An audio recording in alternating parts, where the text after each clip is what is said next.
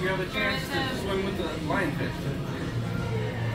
It's a big fish. You think that glass is They're spotted scorpion fish. No, I spine foot. Flying gurnard. Whatever that is. Gosh, that girl scared me. I thought the glass Trying fish. I thought she was getting out and she said she was jumping.